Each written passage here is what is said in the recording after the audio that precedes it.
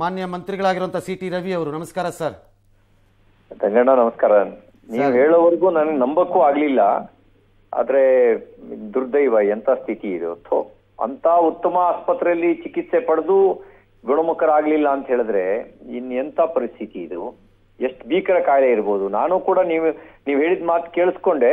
ಕೋವಿಡ್ನಿಂದ ಗುಣಮುಖರಾದ ನಂತರ ನನಗೂ ಒಂದು ರೀತಿಯ ಬಲವಾದ ನಂಬಿಕೆ ಈ ಇಷ್ಟೇ ತಾನೇ ಇದೇ ದೊಡ್ಡದ ಅಂತ ಅನ್ಸಕ್ ಶುರುವಾಗಿತ್ತು. ಆದ್ರೆ ಯಾವ ರೀತಿ ಶಾಕ್ ಕೊಡುತ್ತೆ ಅಂತ ಹೇಳಕ್ಕಾಗಲ್ಲ. ತೊಂಬತ್ತು ವರ್ಷದವ್ರು ಗುಣಮುಖರಾಗಿ ಬರ್ತಾರೆ ಆರೋಗ್ಯವಾಗಿ ಇಂತಿದ್ದವರು ನಿಧನರಾಗ್ತಾರೆ. ಇದು ಬಹಳ ಶಾಕ್ ಕೊಡುವಂತ ಸಂಗತಿ. ರಾಜ್ಯಕ್ಕೆ ಒಂದು ನಷ್ಟ.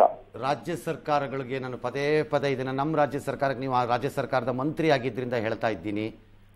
ನಾನು ಪದೇ ಪದೇ ಹೇಳ್ತಾನೆ ಇದ್ದೀನಿ ಹೇಳ್ತಾನೆ ಇದ್ದೀನಿ. ಭಾಳ ಇಗ್ನೋರ್ ಮಾಡ್ತಾ ಇದ್ದೀರಿ ಭಾಳ ಇಗ್ನೋರ್ ಮಾಡ್ತಾ ಇದ್ದೀರಿ. ಅದನ್ನು ಮಾತಾಡೋದೇ ಬಿಟ್ಬಿಟ್ಟಿದ್ದೀರಿ ಎಲ್ಲರೂ ಅದರ ಗಂಭೀರತೆಯನ್ನು ಮರೆತು ಬಿಟ್ಟಿದ್ದೀರಿ ಏನೂ ಆಗಿಲ್ಲ ಅನ್ನೋ ಥರ ಓಡಾಡೋಕ್ಕೆ ಸ್ಟಾರ್ಟ್ ಮಾಡ್ತಾ ಇದ್ದೀರಿ. ಬೇಡ ಬೇಡ ಬೇಡ ಬೇಡ ಅಂತ. ಕೇಳ್ತಾರ ಯಾರು ಕೇಳಲ್ಲ. ನೋಡಿ ಅವರು ಎಲ್ಲ ಈ ಚಟುವಟಿಕೆ ನಡುವೆನು ಓಡಾಡ್ಕೊಂಡಿದ್ದು ಕೆಲಸ ಮಾಡ್ಕೊಂಡಿದ್ದವರು ಪಾರ್ಲಿಮೆಂಟ್ ಸೆಷನ್ಗೋಸ್ಕರ ಟೆಸ್ಟ್ ಮಾಡಿಸ್ಕೊಂಡ್ರು. ಇಲ್ಲದೆ ಇದ್ರೆ ಗೊತ್ತಾಗ್ತಿತ್ತೋ ಇಲ್ಲೋ ಅದು ಗೊತ್ತಿಲ್ಲ. ಅಲ್ಲಿ ಟೆಸ್ಟ್ ಮಾಡಿಸ್ಕೊಂಡಾಗ ಪಾಸಿಟಿವ್ ಬಂದಾಗ ಆಸ್ಪತ್ರೆಗೆ ಅಡ್ಮಿಟ್ ಆಗಿದ್ರು. ಎಂತ ಸ್ಥಿತಿ.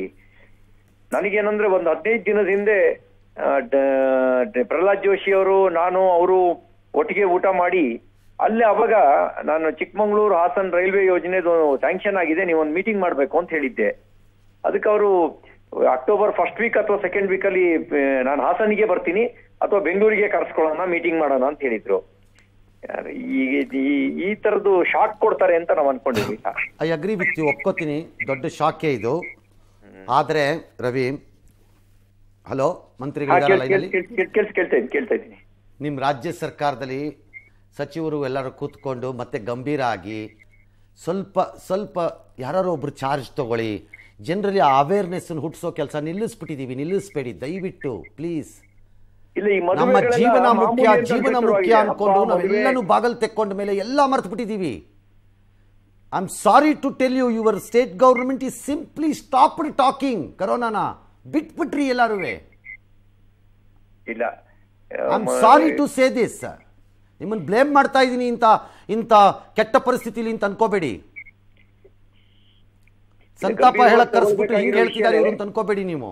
ಎಲ್ಲ ಗಂಭೀರವಾಗಿ ತಗೊಳ್ಬೇಕಾಗಿರೋ ವಿಷಯನೇ ಐ ಡೋಂಟ್ ನೋ ನೋಡಿ ಯೋಚನೆ ಮಾಡಿ ಎಲ್ಲರೂ ಇನ್- ಇನ್ನಷ್ಟು ಜನರನ್ನು ಕಳ್ಕೊಳ್ಳೋಕ್ಕಿಂತ ಮುಂಚೆ ಬಹಳ ಗಂಭೀರವಾಗಿ ತಗೊಳ್ಬೇಕು. ನಿಮ್ಮೆಲ್ಲರಿಗೂ ಬುದ್ಧಿವಂತಿಕೆ ಇದೆ ನೀವೆಲ್ಲ ಅರ್ತಿದ್ದೀರಿ.